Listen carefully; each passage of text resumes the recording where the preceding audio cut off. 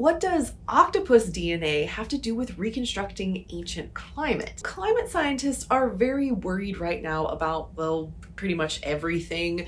But one major concern is that as the planet warms, the West Antarctic ice sheet might collapse. So they've been trying to work out if it has collapsed before during previous warm periods, like the last interglacial around 125,000 years ago. And they're using octopus DNA to do it. See, there's a species of octopus that lives on both sides of the ice sheet today and has been there for millions of years. And in a recent study that's still awaiting peer review, researchers sequenced their genomes and found a signal that the two populations mixed and exchanged DNA right around the last interglacial period. This could only have been possible if the West Antarctic ice sheet had collapsed and opened a seaway between the two populations, which could be a warning of what to expect in the decades to come as climate warms once again.